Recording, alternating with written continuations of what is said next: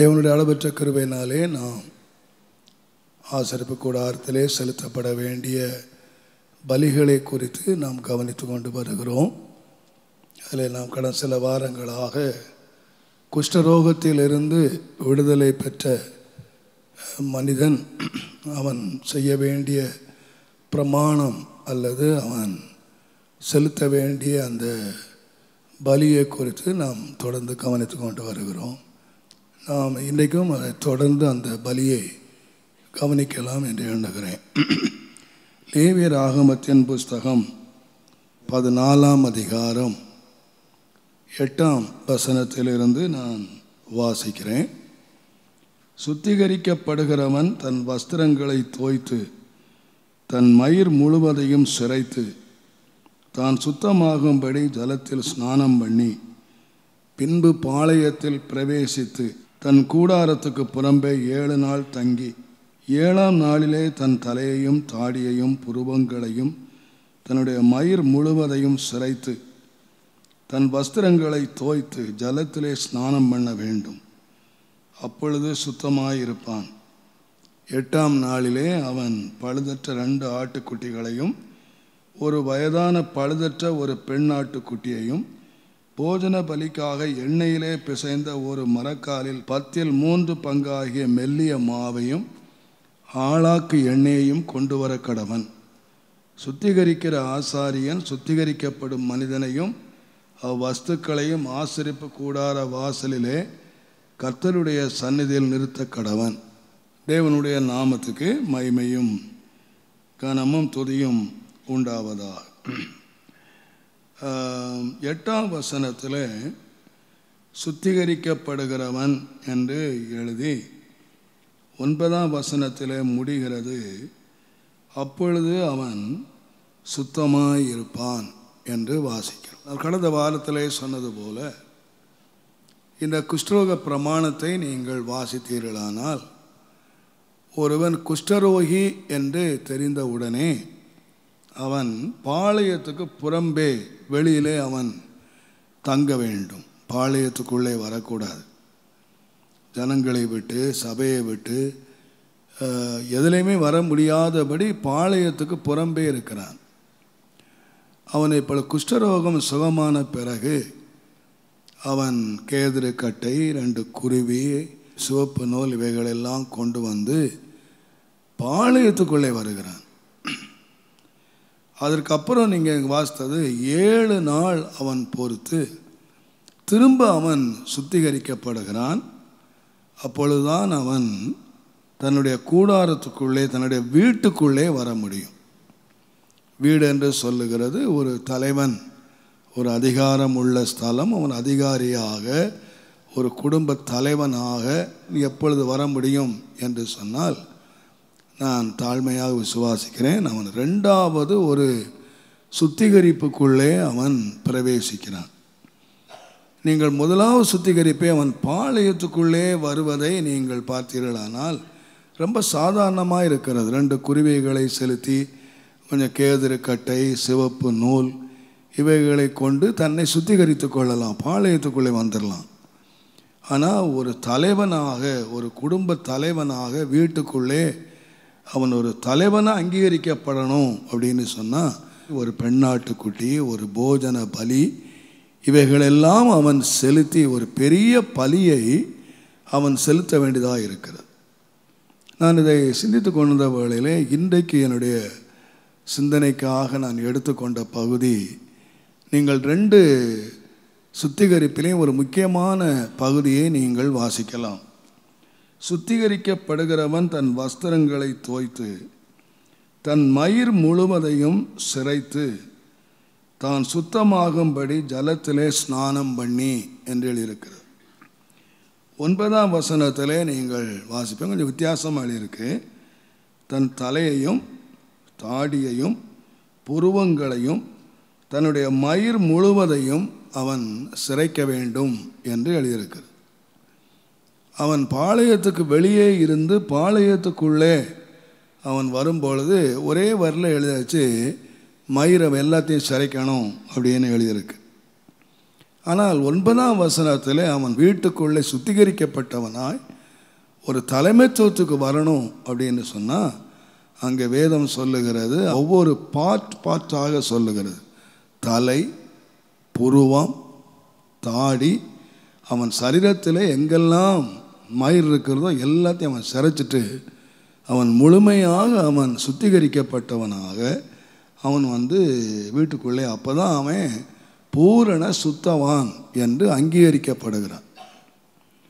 நான் இதை உட்காந்து யோசித்தேன். நிறையா எனக்கு மற்ற எழுதியிருந்த புஸ்தகத்தெல்லாம் எடுத்தவங்க யாரும் ஒன்றும் இதில் சரியாக தெரில பட் நான் உட்காந்து யோசித்த வேளையில் ஏன் ஆண்டவர் அந்த மயிரை சிறைக்கணுங்கிறதுல மிக கவனமாக இருந்தார் என்று சொன்னால் என்னை பொறுத்த வரையில் லேவிய ராகமத்தின் புஸ்தகம் பதிமூன்றாம் அதிகாரம் மூன்றாம் வசனத்தை வாசித்தால் அப்பொழுது ஆசாரியன் அவன் சரீரத்தின் மேல் இருக்கிற ரோகத்தை பார்க்க வேண்டும். ரோகம் இருக்கும் இடத்தில் மயிர் வெளுத்தும் ரோகம் உள்ள இடம் அவனுடைய மற்ற சரீரத்தை பார்க்கிலும் அதிகமாய் குளிந்தும் இருந்தால் அவது குஷ்டரோகம். ஆசாரியன் அவனை பார்த்த பின்பு அவனை தீட்டுள்ளவன் என்று தீர்க்க கடவன் பத்தாம் வசனம் பாருங்க. அப்பொழுது ஆசாரியன் அவனை பார்த்து தோலிலே வெள்ளையான தடிப்பிருந்து அது மயிரை வெண்மையாக மாற பண்ணிற்றென்றும் அந்த தடிப்புள்ள இடத்தில் ரண மாமிசம் உண்டென்றும் கண்டால் இருபதாம் வசனம் பாருங்க. ஆசாரியன் அதை பார்த்து அவ்விடம் மற்ற தோலை பார்க்கிலும் குளிந்திருக்கவும் அதன் மயிர் வெள்ளையாக மாறியிருக்கவும் கண்டால் ஆசாரியன் அவனை தீட்டுள்ளவன் என்று தீர்க்க கடவன். இந்த மூன்று வசனங்களை நான் மிக முக்கியமாக சொல்லுகிறேன். இந்த மூன்றை நீங்கள் கவனித்து பார்த்தீங்கன்னா ஆசாரியன் வந்து ஒருவன் குஷ்டரோகியா குஷ்டரோகி இல்லையா என்பதை அவன் வந்து தீர்க்கிறதுக்கு அவன் எடுத்த என்ன கேட்டிங்கன்னா எதில் சேஞ்ச் வந்துச்சுன்னா அவனுடைய ஹேர் அவனுடைய முடி. அவனுடைய முடியை வச்சு தான் அவன் குஷ்டரோகியா இல்லையா என்று சொல்லுகிறான். தோலில் தோல் மாற்றம். இந்த தோல் மாற்றம் வந்த உடனே அதில் என்ன மாற்றம் வந்ததுன்னா குஷ்டரோகி என்று சொல்லுகிறதுக்கு மாற்றம் அவனுடைய கருமையான முடி வெள்ளையாக மாறிடுச்சு. அந்த முடியை வச்சு தான் அவன் சொல்கிறான் அவன் யாருன்னா குஷ்டரோகி என்று தீர்க்கப்படுகிறான். இப்போ ஆண்டவர் அவன் சுத்திகரிக்கப்படுகிற வேளையில முதலாவது கை வைக்கிற இடம் எங்கேன்னு கேட்டிங்கன்னா அவனுடைய அந்த மயிர் தான் முதலாவது அவனுடைய மயிரெல்லாம் சுத்திகரிக்கடவன் சொல்லியிருக்கு. ரெண்டாவது அவனுடைய தலை அவனுடைய பூர்வம் அவனுடைய தாடி அவன் சரீரத்தில் உள்ள எல்லா முடியும் அகற்றப்பட வேண்டும் என்று சொல்லுகிற காரணம் என்னவென்றால் அவனை குஷ்டரோகி அப்படின்னு பல காட்டுகிறது. இந்த மயிர் தான் அந்த முடி தான். அப்போ இந்த பழைய முடிகள் அவனுடைய குஷ்டரோகின்னு காட்டின ஒரு குஷ்டரோகம் நீங்கள் வச்சக்கூடாது வெறும் ஸ்கின்னில் மாத்திரம்தான் மாற்றம். என்று நினைக்கக்கூடாது. வேதத்தின்படி பார்த்தால் அவனுடைய முடியில் மாற்றம். அப்போ இந்த சரீரம் சுத்தமானாலும் கூட முடி பார்த்த உடனே தெரியுது குஷ்டரோகி முடின்னு தெரியுது ஒரு குஷ்டரோகியினுடைய முடி அது வளர வளர அது கீழே உள்ள முடி வளரும்போது மேலே உள்ள முடியெல்லாம் என்ன சொல்லுதுன்னா அது குஷ்டரோகின்னு சொல்லுது. இந்த குஷ்டரோகித்தனுடைய அந்த பழைய முடி முற்றிலும் அகற்றப்படும். இனிமேல் அவனுக்கு ஒரு குஷ்டரோகத்தினுடைய அந்த அடையாளம் சுருக்கமாய் சொன்னால் ஒரு குஷ்டரோகம் என்று சொல்லுகிற முதல்ல சொன்னது போல் பாவத்துக்கு அடையாளமாக இருக்குது ஒரு சுத்தமானவன் என்று சொல்லுகிறவன் எந்த அடையாளம் இருக்கக்கூடாது. ஸ்கின்னிலையும் இருக்கக்கூடாது முடியல முடியை வச்சு தானே அவன் வந்து குஷ்டரோகின்னு தீர்மானித்தாங்க அந்த முடியை பழைய முடியெல்லாம் அவன் எடுத்துட்டு இப்போ அவன் முடி எப்படி முளைக்கணும்னு சொன்னால் ஒரு குஷ்டரோகியனுடைய ஒரு முடிவல்ல ஒரு சுத்தமானவனுடைய முடியாக தன்னை அது காட்டணும். அப்படின்னா அவன் வாழ்க்கை என்னன்னா அவனை சோதித்து பார்த்தால் அவன் குஷ்டரோகி அல்ல அவன் சுத்தமானவன் என்று காட்டுவதற்கு அடையாளம் அவனுடைய தலைமுடி பழைய முடி தன்னை குஷ்டரோகின்னு காட்டின முடியை எல்லாம் அவன் எடுத்துடணும் சுத்தமாக எடுத்துடணும். அதற்கு அப்புறம்தான் அவன் யாராக இருக்க முடியும்னு கேட்டிங்கன்னா தலைவனாக இருக்க முடியும். ஒரு அத்தாரிட்டி பர்சன் ஒரு தலைவனாக எப்போ மாற முடியும் அப்படின்னு கேட்டால் அந்த பாவத்தினுடைய சுவடு கூட அவன் தலையில் காணப்படக்கூடாது. அவன் சரீரத்தில் காணப்படக்கூடாது. அவன் முன்னாலே ஏதோ அந்த முடியை சரிச்சிட்டு அப்படியே அந்த பாளையத்துக்குள்ளே வர்றான். எல்லாரோடு எல்லாராம அவன் இருந்துட்டு போகிறான் ஆனால் அவன் வீடு என்று வரும் பொழுது அவன் தன்னுடைய அதிகாரம் அவன் தலைமைத்துவம் இவைகளெல்லாம் அவன் பெற வேண்டுமானால் அவன் தன்னை குஷ்டரோகி என்று காட்டி கொடுத்த அல்லது தன்னை பாவி என்று காட்டி கொடுத்த பழைய காரியங்கள் முற்றிலும் அவனை விட்டு அகற்றப்பட வேண்டும். என்பதை நாம் அறிய வேண்டும். நான் இதை குறித்து யோசித்த வேளையிலே இந்த ஆவிக்குரிய அனுபவங்களை நீங்கள் எடுத்து பார்த்தீர்களானால் இந்த குஷ்டரோகியினுடைய அனுபவத்தை நீங்கள் எடுத்தீங்கன்னா முதலாவது பாளையத்துக்கு புறம்பே இருக்கிறான் ரெண்டாவது பாளையத்துக்குள்ளே வருகிறான் ரெண்டாவது வீட்டுக்குள்ளே வருகிறான். மூன்றாவது அவன் ஆராதனைக்குரியவனாக தேவனுடைய சன்னிதானத்துக்கு வர்றான் அவன். இருந்த இடத்த விட்டு மூன்று இடம் அவன் கடந்து வருகிறான். நீங்கள் வேத புஸ்தகம் முழுவதும் வாசித்தீங்கன்னா ஒரு தேவனுடைய பிள்ளை இந்த மூன்று இடங்களை கடந்து தான் கடக்கணும் என்பதை நான் வேதத்தை ஆராய்ந்து பார்த்தபோது நான் பார்த்தேன். உதாரணமாக அவன் முடியெல்லாம் சுத்திகரித்து சலத்தினால் அவன் ஸ்நானம் பண்ணணும் ரெண்டு முறையும் பண்ணணும். முதல் முறையும் உள்ள பாளையத்துக்குள்ளே வரும்போதும் பண்ணணும். அவன் வீட்டுக்குள்ளே வருவதற்கும் அந்த அதிகாரத்தை திரும்ப பெறுறதுக்கும் அவன் ஸ்நானம் பண்ணணும்.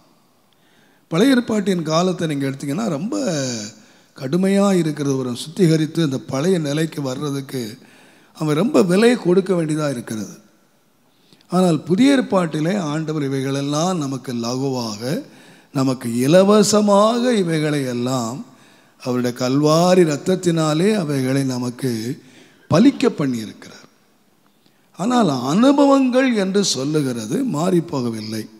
சுருக்கமாக நான் சொல்வேன் ஆனால் இந்த ஜலத்தினால் அவன் ஸ்நானம் பெறுகிறது என்று சொல்லுகிறதை நாம் வாசிப்போமானால் ரோமர் ஆறாம் அதிகாரம் மூன்றாவது வசனத்தை நாம் வாசிப்போமானால் கிறிஸ்து இயேசுவுக்குள்ளாக ஞானஸ்தானம் பெற்ற நாம் அனைவரும் அவருடைய மரணத்துக்குள்ளாக ஞானஸ்தானம் பெற்றதை அப்போஸ்தலனாகிய பவுல் ஆஹ், அவர் நிருபங்களை நீங்கள் ரொம்ப வாசித்தீங்கன்னா கிறிஸ்துவுக்குள்ளாக கிறிஸ்துவோடு.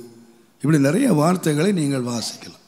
அவருடைய கடிதங்களை நீங்கள் வாசிக்கும்போது ஒருவன் கிறிஸ்துவுக்குள்ளாக ஞான ஸ்நானம் பெறுகிறான். அப்போ ஞான ஸ்நானம் ஒரு மனிதனை எங்கே கொண்டு வருதுன்னு கேட்டிங்கன்னா கிறிஸ்துவுக்கு உள்ளாக. நம்முடைய கிறிஸ்தவ வாழ்க்கையை நீங்கள் யோசித்து பார்த்தீங்கன்னா ஒருத்தன் கிறிஸ்துவுக்குள்ளே வரணும். ரெண்டாவது அவன் கிறிஸ்துவுக்குள்ளே வாழணும். மூன்றாவது அவன் கிறிஸ்துவோடு என்றென்றைக்கு இருக்கணும். இது நம்முடைய ஆவிக்குரிய வாழ்க்கையினுடைய த்ரீ ஸ்டேஜஸ் மூன்று அனுபவங்கள். முதலாவது ஒரு மனுஷன் என்ன செய்யணும்னு கேட்டிங்கன்னா கிறிஸ்துவுக்குள்ளே வரணும். அதுதான் அவனை ஞான ஸ்நானம் என்று சொல்லுகிறது.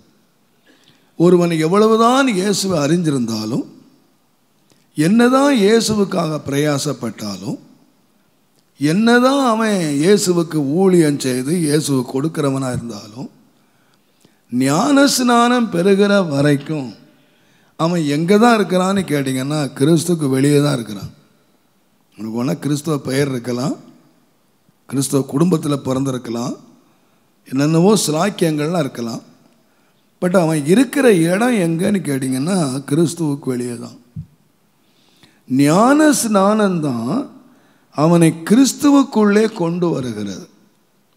அப்போ சில நாயக பவுல் எபேசியருக்கு எழுதும் பொழுது எபேசியர் ரெண்டாம் அதிகாரம் பன்னிரெண்டாம் வசனத்தை நீங்கள் வாசிப்பீர்களானால் கிறிஸ்துவை சேராதவர்களும் அக்காலத்திலே நாம் யாருன்னு கேட்டீங்கன்னா கிறிஸ்துவை சேராதவர்கள் இஸ்ரவேலுடைய காணி இஸ்ரவேலுடைய காணியாட்சிக்கு புறம்பானவர்கள் வாக்கு தத்தத்தின் உடன்படிக்கைகள் வாக்கு தத்தத்தினுடைய உடன்படிக்கைக்கு அந்நியரும் அந்நியர்.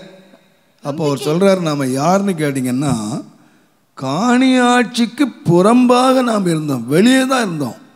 நமக்கும் காணியாட்சிக்கும் அந்த பாளையத்துக்கும் சம்பந்தமே இல்லை. இஸ்ரேவேல் ஜனங்கள் என்று சொல்லுகிறவர்களுக்கு சம்பந்தமே இல்லை. ஆனால் ஆண்டவர் வந்து நம்மை கிறிஸ்துவுக்குள்ளே கொண்டு வருவதற்கு அவர் எடுத்த ஒன்றுன்னு கேட்டிங்கன்னா ஞான ஸ்நானம் நான் இதை குறித்து ஒரு வார்த்தை நம்முடைய அறிவுக்காக இந்த ஞான ஸ்நானம் என்று சொல்லுகிறது. இன்றைக்கு சிலர் சொல்கிறாங்க கிறிஸ்துவுக்குள்ளாக ஞாசனா இயேசுவின் நாமத்தில் தான் நாம் ஞான ஸ்நானம் எடுக்கணும். பிதா குமாரன் பரிசுத்தாவின் திரியேக நாமத்தில் நாம் எடுக்கக்கூடாது எடுக்க வேண்டாம் என்று சொல்லுகிறார்கள். பட்டு காரியம் வந்ததுனாலே நான் சொல்லுகிறேன். அவங்க எதை வச்சு சொல்கிறாங்க அப்படின்னு கேட்டிங்கன்னா அப்போ சில ரெண்டாம் அதிகாரம் முப்பத்தி எட்டாம் வசனத்தில் சகோதரரே நாங்கள் என்ன செய்ய வேண்டும் என்று கேட்டபொழுது நீங்கள் மனம் திரும்பி பாவ மன்னிப்பு கண்டு இயேசு கிறிஸ்துவின் நாமத்தினாலே நீங்கள் ஞான ஸ்நானம் பெற்றுக்கொள்ளுங்கள். அப்பொழுது பரிசுத்த ஆவியனுடைய வரத்தை நீங்கள் பெறுவீர்கள். அப்படின்னு பேதுரு சொல்கிறத வச்சு பேதுரு என்ன சொன்னார்னா இயேசுவின் நாமத்தில் ஞான ஸ்நானம் கொடுங்கன்னு சொன்னார். அதனால் கண்டிப்பாக இயேசுவின் நாமத்தில் தான் ஞான ஸ்நானம் கொடுக்கணும் அப்படின்னு ஆனால் ஆண்டவராக இயேசு கிறிஸ்து தம்முடைய சீசரில் கட்டளையிடும் பொழுது மத்திய இருபத்தி எட்டாம் அதிகாரம் பத்தொன்பதாம் வசனத்தில் சகல ஜாதிகளையும் நீங்கள் சீஷராக்கி அவர்களுக்கு பிதா குமாரன் பரிசுத்த ஆவியின் நாமத்திலே அவர்களுக்கு ஞான ஸ்நானம் கொடுத்து அப்படின்னு சொல்கிறார் தம்முடைய சீஷர்களுக்கு கட்டளை கொடுத்தது பிதா குமாரன் பரிசுத்த ஆவியின் நாமத்திலே கொடுங்க. ஆனால் பேதுரு என்ன சொன்னார்னு கேட்டிங்கன்னா இயேசு கிறிஸ்துவின் நாமத்தில் நீங்கள் ஞான ஸ்நானம் எடுக்கணும் அப்படின்னு சொன்னார். இதை வைத்து கிறிஸ்துவத்துக்குள்ளே ஒரு பெரிய இயேசுவின் நாமத்தில் எடுக்கணும் இயேசு மாத்திரம்தான் என்று சொல்லுகிறார்கள். கிறிஸ்துவுக்குள்ளே வரணும்னா நம்ம இயேசுவின் நாமத்தில் நீங்கள் ரெண்டையும் கொஞ்சம் நல்லா வா நிதானித்து பார்த்தீங்க அப்படின்னு சொன்னால் பேதுரு வந்து பிரசங்கம் பண்ணினார். ஃபஸ்ட்டு அப்போஸ்தலர் பிரசங்கத்தை பண்ணும்பொழுது அவர் யாருக்கு பண்ணினார் என்று கேட்டிங்கன்னா அங்கே நின்னவங்க எல்லாரும் யூதர்கள் அல்லது இஸ்ரவேலர்கள். அவங்க ஏற்கனவே அவர்கள் பிதாவை அறிந்தவர்கள் பிதாவோடு உடன்படிக்கை பண்ணியிருக்கிறவர்கள் தங்களுடைய மாம்சத்திலே விருத்த சேதனம் என்று ஒன்றை அவர்கள் நிறைவேற்றி அவர்கள் பிதாவோடு உடன்படிக்கை பண்ணியிருக்கிறார்கள். அவங்க எங்கே இருக்கிறாங்கன்னு கேட்டிங்கன்னா காணி ஆட்சிக்குள்ளே இருக்கிறாங்க. உடன்படிக்கைக்கு உள்ளே இருக்கிறாங்க. வாக்கு தத்தங்களுக்கு உரிமை உள்ளவர்களாய் அவர்கள் இருக்கிறார்கள். ஏற்கனவே அவர்களுடைய சரீரத்தில் அவர்கள் உடன்படிக்கை இருக்கிறது. இப்போ யாரோடு தான் அவங்க உடன்படிக்கை பண்ணணும்னு கேட்டிங்கன்னா பேர் பிரசங்கத்தை நீங்கள் வாசித்தீங்கன்னா நீங்கள் அவர்களை கொலை செய்தீர்கள். உங்கள் தேவனாகிய கர்த்தர் இரட்சகராக இயேசுவை அனுப்பின பொழுது நீங்கள் விசுவாசிக்காமல் உங்கள் இரட்சகரையே நீங்கள் கொலை செய்தீங்க. ஆகையினால் அந்த இரட்சகரே உங்கள் வாழ்க்கையில் ஏற்றுக்கொண்டு அவர் தான் மேசியா அவரை ஏற்றுக்கொண்டு அவருடைய நாமத்தில் ஞான ஸ்நானம் பெறுங்கன்னு சொன்னார். ஆனால் இயேசு சொன்னதை நீங்கள் நல்லா வாசித்து பார்த்தீங்கன்னா நீங்கள் உலகமெங்கும் புறப்பட்டு போய் சகல ஜாதிகளையும் சீசராக்குங்க அவங்க யூதர்கள் வந்து ஜாதியை கிடையாது. அவங்க கோத்திரம்தான். இஸ்ரவேல் ஜனங்களுடைய காரியங்களில் போனேன் அவங்களுக்கு ஜாதின்னு சொல்கிறது யாருன்னா நம்ம தான் அதுவும் விசேஷமாக இந்தியா தான் ஆயிரத்தெட்டு ஜாதி இருக்கும். இங்கே உட்கார்ந்து இருக்கிற எத்தனை பேர் உட்காருங்க எத்தனை பேர் கேட்டால் இத்தனை பேர் வேறு வேறு ஜாதியில் உட்காந்துருப்பீங்க நமக்கு நிறைய ஜாதிகள் இருக்குது ஆனால் அவங்களுக்கு இஸ்ரவேல் புத்திரருக்கு கோத்திரம் தான் இருக்கு. யூதா கோத்திரம் ரூபன் கோத்திரம் அவர்கள் கோத்திர பிதாக்களாய் மதிக்கப்பட்டார்கள். பட் ஆண்டவர் சீசர்களுக்கு சொல்லும்போது நீங்கள் புறப்பட்டு போய் சகல ஜாதிகளையும் ஜாதிகள் சொல்ல புறஜாதிகள் நமக்கு யார் கிடையாதுன்னா தேவனே கிடையாது. பிதானா நமக்கு யாருன்னே தெரியாது. காணி ஆட்சிக்கு நமக்கு உள்ளே கிடையாது. தேவனுடைய நாமத்துக்கு மைமை உண்டாவதாக.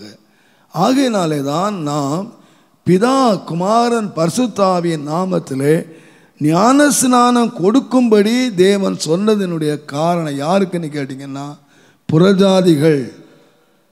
நாம் புறஜாதிகளாய் இருக்கிறதுனாலே நாம் கண்டிப்பாக இயேசு சொன்ன வார்த்தைக்கு நாம் கீழ்ப்படிய வேண்டும்.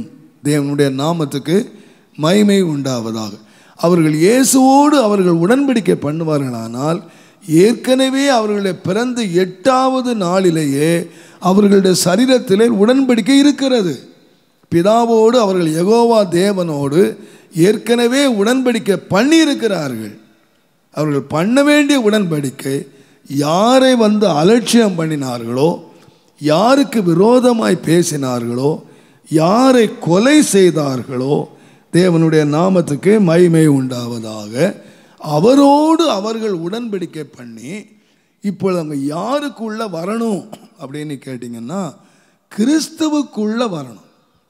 இவர்கள் என்னதான் உடன்படிக்கைக்குள்ளே அவங்க இருந்தாலும் அவங்களுடைய ஃபெய்த் என்னன்னு கேட்டிங்கன்னா அவங்களுடைய மிக முக்கியமாய் நினைத்ததுன்னு கேட்டிங்கன்னா அவங்க வந்து மோசே தான் அவங்களுடைய தலைவன். நீங்கள் ஒரு சம்பவத்தை நீங்கள் வாசித்தீங்கன்னா அப்போசலனாகிய பவுல் கொருந்தியருக்கு எழுதின நிருபம் தயவு செய்து பத்தாம் அதிகாரம் பத்தாம் அதிகாரம் ரெண்டாம் வசனம் பாருங்கள் ஒன்று ரெண்டும் பாசுங்க நீங்கள் எவைகளை அறிய வேண்டும் என்று இருக்கிறேன் என்றால் நம்முடைய பிதாக்கள் எல்லாரும் மேகத்திற்கீழாக கீழாக இருந்தார்கள் எல்லாரும் சமுத்திரத்தின் வழியாக நடந்து வந்தார்கள். எல்லாரும் நல்லா கவனிங்க வார்த்தை. எல்லாரும் மோசேக்குள்ளதாக மேகத்தினாலும் சமுத்திரத்தினாலும் ஞான ஸ்நானம் பண்ணப்பட்டார்கள். இப்போ இவங்க சமுத்திரத்தை கடந்தாங்க. ரெண்டு பக்கமும் மதிலாக தண்ணி நிற்கிது இவங்க கடந்து போனாங்கன்னா வெறும் செங்கடலை மாத்திரம் கடந்தாங்கன்னு நீங்கள் நினைக்கக்கூடாது இந்த ஆவிக்குரிய அர்த்தத்தை அவர் சொல்லும்போது அவங்க ஞானஸ்நானம் பெற்றாங்க. தேவன் அவங்களை ஞானஸ்நானத்துக்கு நடத்தினார். அந்த ஞானஸ்நானம் அவங்களை எதுக்குள்ளே நடந்துச்சுன்னு கேட்டிங்கன்னா மோசேக்குள்ளாக நடந்துச்சு. மேகத்தினாலும் ஜலத்தினாலும் அவர்கள் மோசேக்குள்ளாக ஞான ஸ்நானம் பெற்றார்கள். அப்போ தேவனை விசுவாசித்து அவர்கள் மோசைக்குள்ளாக பெறுகிறார்கள் ஆனால் கத்தருடைய பிள்ளைகளாகிய நாம் விசுவாசத்தினாலே ஞான ஸ்நானம் பெறும்போது நாம் மோசைக்குள்ளாக அல்ல நாம் இயேசுவுக்குள்ளாய் ஞான ஸ்நானம் பெறுகிறோம். நீங்கள் எபிரேய நிருபத்தை நீங்கள் முடிந்தால் நீங்கள் வாசித்து பாருங்கள். அது எபிரேயர்களுக்காக எழுதப்பட்டது. நீங்கள் அந்த நிருபம் முழுவதும் வாசித்தீங்கன்னா அவர் ஒவ்வொன்றாக அவர் பிரித்து பிரித்து காட்டிக்கொண்டே வருகிறார்.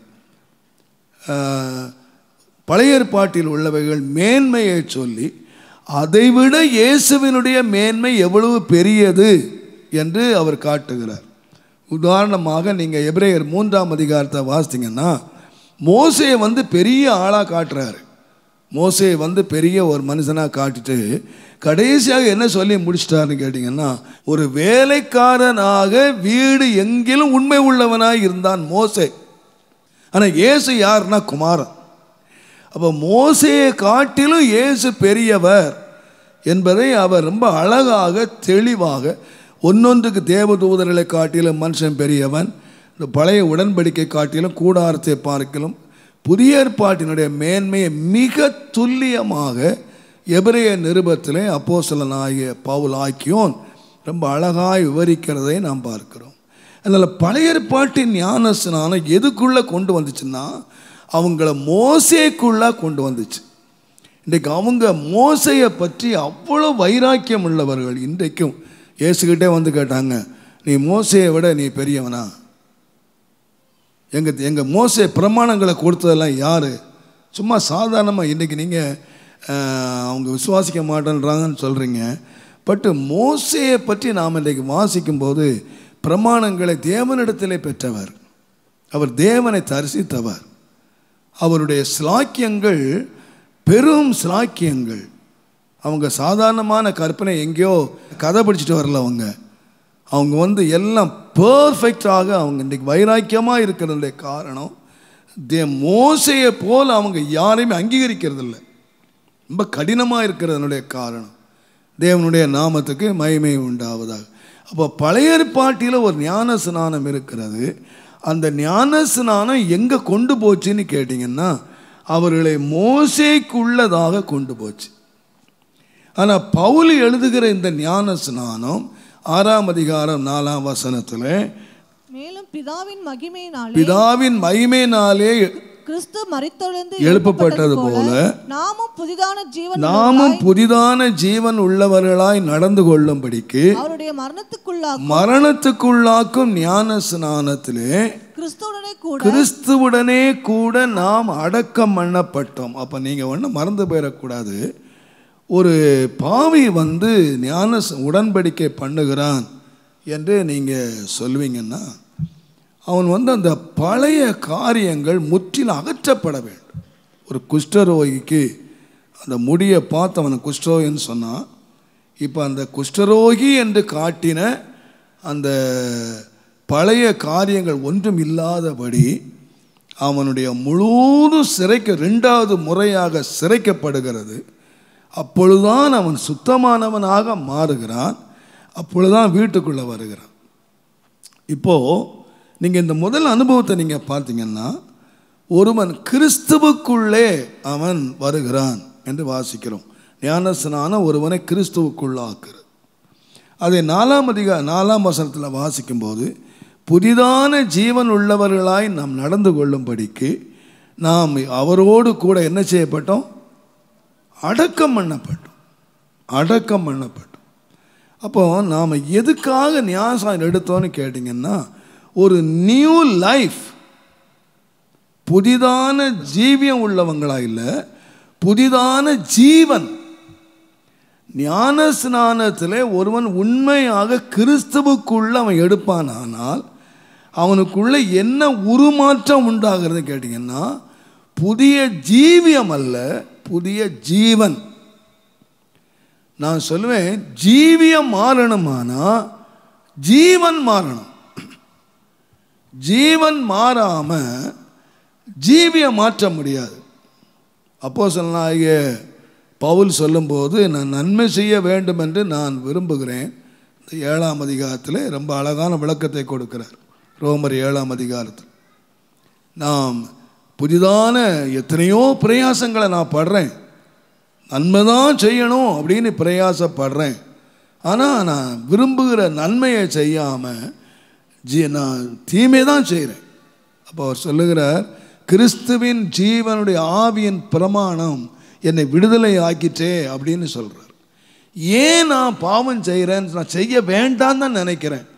நான் எதை செய்யக்கூடாதுன்னு நினைக்கிறேனோ அதைத்தான் நான் செய்கிறேன் ஏன்னு கேட்டால் அதை செய்கிற ஜீவன் தான் எனக்குள்ளே இருக்குது சுருக்கமாக நான் எப்பொழுதும் நான் சொல்லுகிறது ஒரு மாங்கொட்டையை எடுத்து மண்ணில் புதைச்சிட்டு நல்ல நாற்பது நாள் தண்ணி குடிக்காமல் ஃபாஸ்டிங் இருங்க. நல்ல ஆண்டவரே நல்ல பெரிய பெரிய தேங்காயாக காய்ச்சதுன்னா நான் ரெண்டு நல்ல கொலையெல்லாம் பெரிய கொலையெல்லாம் கொண்டு போய் நான் கோயிலுக்கு வந்து உங்கள் காணிக்க வச்சுருவேன். அப்படின்னு நாற்பது நாள் நல்லா ஃபாஸ்டிங் இருந்து ஜெபம் பண்ணிங்கன்னா நிச்சயம் என்ன காய்க்காது? உங்கள் ஜெபம் கேட்கப்படாது. நீங்கள் என்ன தான் முட்டி மோதி தலைகீழான தண்ணி குடிக்காமல் ஜபம் பண்ணாலும் அது என்ன தான் காய்க்கும்? மாங்காய் தான் காய்க்கும். ஏன்னா ஜீவன் என்ன இருக்குது மாங்காய் ஜீவனை வச்சுக்கிட்டு தேங்காய் பறிக்கலான்னு சொன்னால் நடக்கவே நடக்காது. தேங்காய் பறிக்கணும்னா ஜீவனை மாற்றணும் கொட்டையை மாற்றணும் உள்ளே இருக்கிற ஜீவனை தூக்கி தூர போட்டுட்டு மாங்கொட்டை எடுத்து வெளியே போட்டுட்டு தேங்காய் தேங்காயை கொண்டு விதையை வச்சிங்கன்னா அது வந்து தேங்காய் காய்க்கும். இன்றைக்கு மனிதர்கள் என்ன சொல்கிறாங்கன்னா கண்ணை மூடு கையை அடக்கு வாய் அடக்கு நாவை அடக்கு என்னெல்லாம் அடக்குனா அது ஒன்றும் அடங்க மாட்டேனுது ஏன்னா என்ன என்ன மாறலன்னு சொன்னால் ஜீவன் மாறலை. ஜீவன் மாறாமல் ஜீவியம் மாறவே மாறாது. அதனால தான் க- பவுல் சொன்னார் கிறிஸ்து என்னுடைய ஜீவன் என்று சொன்னார். கொலோசேர் மூன்றாம் அதிக நாலாம் வசனத்தில் நம்முடைய ஜீவனாகிய கிறிஸ்து வெளிப்படும் போதுன்னு சொன்னார். ஞான ஸ்நானத்தில் என்ன நடக்கணும்னு கேட்டிங்கன்னா ஆண்டவரே நான் என் பாவத்தை விடுறேன்னு இல்லை நான் பாவத்துக்கு மறிக்கிறேன். பாவத்துக்கு மறித்த நாம் இனி அதில் எப்படி பிழைப்போம்? நான் முதல்ல அடக்கம் பண்ணப்படுறேன். ஒரு புதிய ஜீவனுக்குள்ளே நான் வருகிறேன். தேவனுடைய நாமத்துக்கு மய்மை உண்டாவதாக. அதனாலே தான் கலாத்திய மூன்றாம் அதிகாரம் இருபத்தி ஏழாம் வசனத்தை நீங்கள் வாசித்தீங்கன்னா அன்றியும் கிறிஸ்து இயேசுவுக்குள்ளாக ஞான ஸ்நானம் பெற்ற நாம் அனைவரும் கிறிஸ்துவை தரித்து கொண்டீர்களே என்று எழுதியிருக்கு.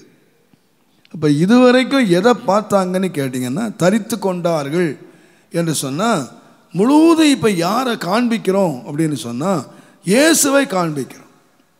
இதுவரைக்கும் நம்ம பார்த்து என்னென்னு கேட்டிங்கன்னா பழைய குஷ்டோகி முடிதான் தெரிஞ்சது. நம்முடைய பாவ மாமிசம் பாவ சரீரம் பாவ வாழ்க்கை இதை வச்சு தான் நம்மளை பாவின்னு தீர்த்தாங்க குஷ்டரோகின்னு தீர்த்தாங்க. ஆனால் இப்போ ஞான ஸ்நானம் பெற்ற பிறகு என்ன நடந்ததுன்னு கேட்டிங்கன்னா நாம் கிறிஸ்துவை என்ன செய்து கொண்டோம்? தரித்து கொண்டோம். நம்முடைய நம்முடைய சரீரத்தை நாம் மூடுறதுக்கு நம்ம வஸ்திரங்களை தரிச்சிருக்கோம். இப்போ நம்ம அடையாளம் காட்டுறது என்னது? உங்கள் பேர் எனக்கு தெரியாத வச்சுக்கோங்க. நான் என்ன சொல்கிறேன்னா அந்த ப்ளூ ஷர்ட்டை போட்டு உட்காந்துருக்கார அவருன்னு சொல்கிறேன் அவருக்கு அடையாளம் காட்டுறது என்னது? அவர் போட்டிருக்கிற வஸ்திரம். அதே விதமாக முன்னாலே அடையாளம் காட்டினது நம்முடைய முடி. வெள்ளை முடி. அந்த தோல் குழியாக இருந்துச்சு. முடி வெள்ளையாக இருந்துச்சு. இப்போ அதை சிரைச்சிட்டு இப்போ என்ன தரிச்சு கொள்கிறான் அப்படின்னு கேட்டிங்கன்னா கிறிஸ்துவை தரித்து கொண்டான் ஞான ஸ்நானம் பெற்ற பொழுது அவன் கிறிஸ்துவை தரித்து கொண்டான். இப்போ அவனை கவர் பண்ணியிருக்கிறது என்ன என்று கேட்டால் கிறிஸ்து அவனை கவர் பண்ணியிருக்கிறார். இப்பொழுது அவன் பாவியாய் காணப்பட முடியாது. இப்பொழுது அவன் பாவத்துக்குள்ளே இருக்க முடியாது. அவனை உலகம் என்ன பார்க்குனீங்கன்னா அவனை பார்க்கும்போது கிறிஸ்துவை பார்க்கிறது. சாத்தான் ஒரு மனிதனை உடன்படிக்கை பண்ணினவனை பார்க்கும்போது அவனை க- கிறிஸ்துவுக்குள்ளாக அவன் இருக்கிறான். கிறிஸ்துவை தரித்து கொள்ளுகிறான்.